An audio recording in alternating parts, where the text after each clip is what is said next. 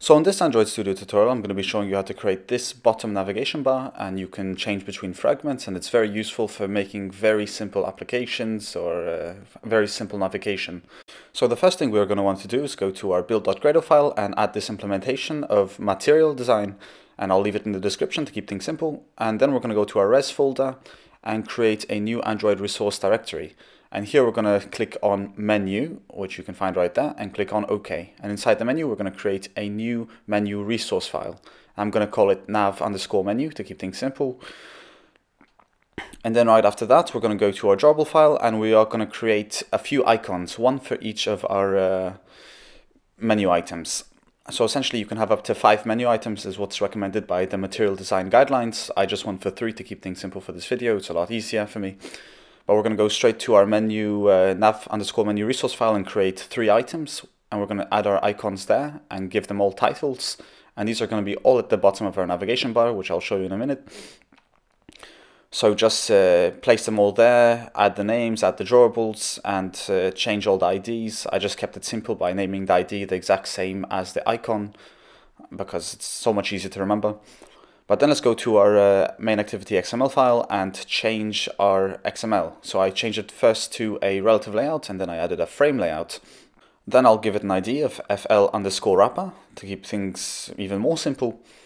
And then right after that, we're going to add our bottom navigation dot bottom navigation view, which is essentially the bar at the bottom.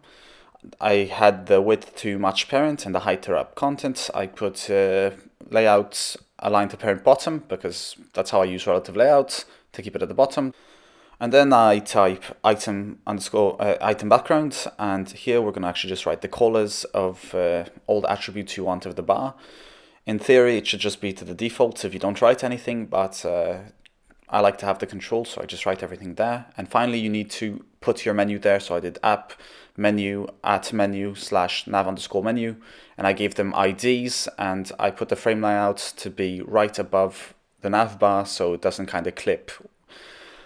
And uh, you can just copy this if anything was too confusing. Um, it's XML and I'm not too good at explaining it. But the next thing we want to do is go and create a new package under our bottom navigation and then name it to uh, fragments because we're going to have a fragments folder there. And then we're going to create a fragment by going to new and fragment and fragment blank. This one we're going to name to home fragment. It's going to be our first item on the page. And uh, yeah, it's actually quite simple. And uh, we waited for it, we wait for it to sync. And I believe we're going to do the same thing two more times. One's going to be for our favorites fragment and one's going to be for our se uh, settings fragment. And yeah, once you've created those, it has the simple template. Uh, it inflates it all for you. We're going to go to the first uh, XML, which I just went for favorites, and I changed it to a relative layout within. And we have a text view just so we can tell which kind of fragment we are on.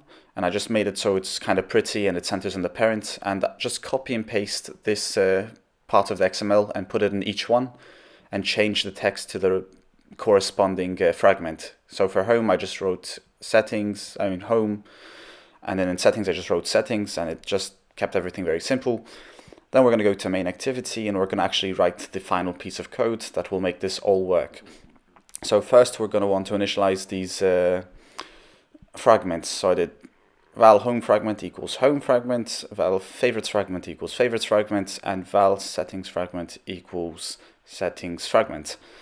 And then we're going to create a method that's not been created yet. It's going to be called uh, make current fragment, and this just makes the code a slightly more cleaner. So here, let's go and create it.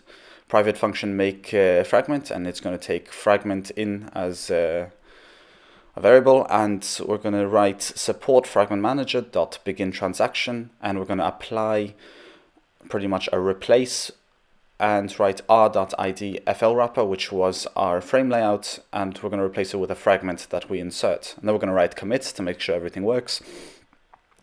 And right after that we can actually create our bottom navigation on click listener. And try to make sure you click on navigation on item selected listener because they also have a reselected listener which just messes things up. But then we're going to write when it.itemid is equal to our r.id IC home, which is the ID for that uh, icon. we're going to make uh, the current fragment the home fragment. And then we're going to do the same for the other two. So every time you click on these, it's just going to send you to that fragment. It's going to replace the current fragment with that one, and you'll, as a consequence, see the view that you clicked on. And make sure you return true under the bottom navigation because it just requires it. But if you launch the application, you'll see everything works fine and dandy. And uh, yeah, it's actually a very simple bar to make. I did some research on it, and uh, the first time it took me like half an hour to figure everything out. But uh, to make the tutorial a bit faster was quite simple. But uh, I hope this helped. I hope you learned something. And uh, if there's any other tutorial you'd like me to make, just leave it in the comment section.